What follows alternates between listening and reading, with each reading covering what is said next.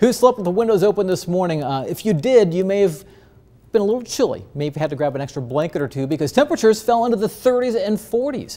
Down to 40 degrees in Lincoln, the coolest temperature it's been uh, since back to May 12th. 39 was the low temperature in New York, 39 in Hebron, 38 degrees out towards Kearney, and 38 as well in Beatrice. Columbus coming in at 37 degrees. Some of the coldest temperatures I could find across the viewing area. Lexington down to 35 degrees this morning. Albion, Edison, and Greeley down to 36. And by the way, the coolest temperature I found across the state, 33 degrees this morning in Albion. Albion. Taking a live look right now from Allo Communications in Lincoln. It looks beautiful outside. Hardly any clouds to be found anywhere. Nice view of the uh, state capitol there just in front of the sun as it's getting closer to sunset. Sunset right around 724 this evening.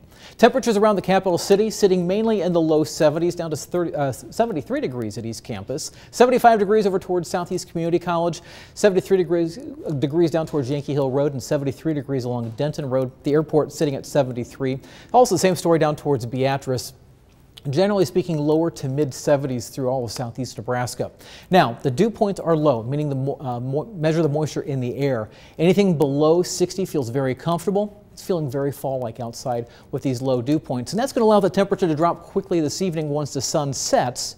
By 7 o'clock, 68, but after that, down to 62 by 9, 57 degrees by 11, will once again drop back into the 40s by tomorrow morning. Think we'll drop down to anywhere between 43 to 44 degrees uh, in Lincoln, 45 in Seward, same in Beatrice. And our cooler locations, Ord, Greeley, and Albion, likely dropping down into the upper 30s to right around 40 degrees. For tomorrow morning, lots of sunshine around, temperatures slow to warm. By noon, I think we'll be back up to right around 70 degrees, but it's during the afternoon things will start to jump pretty quickly, especially with the winds out of the south. We'll have some gusts to 18 miles per hour tomorrow afternoon.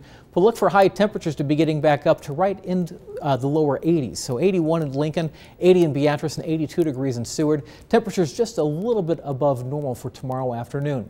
A cold front is coming our way Thursday night into Friday morning it's not going to do a whole lot except for bring some clouds our way on Friday. There will be a chance for an isolated shower, I think, behind the cold front. See up towards Sioux City. Uh, Stormcast suggesting some showers up that direction.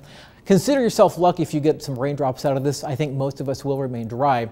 And then on Saturday, it's going to set us up for a nice Saturday. Uh, we'll start out in the 40s by Saturday morning, rebounding back up into the upper 70s by Saturday afternoon. Sunday right now, if you like warmer weather, temperatures running for high temperatures upwards of 13 to 15 degrees above normal. So we're talking a high temperature of 86 degrees Sunday afternoon. Seven day forecast. Again, more clouds around Friday and a little cooler back behind that front. A high of 74 down to 47 degrees Saturday morning. So we're trying to appeal to everybody this weekend. Some cooler temperatures, feeling a little fall like on Saturday and then showing we're not completely done with some warmer summertime temperatures Sunday afternoon with sunny skies, a high of 86 degrees.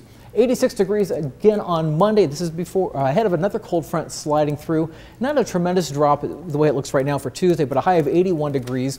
78 degrees by next Wednesday. Computer models are trying to throw a chance for some rain into the area on Thursday, so we'll just call scattered showers right now. Temperatures in the mid 70s, and then perhaps cooling down a little bit as we head into the first weekend of October with highs in the low 70s.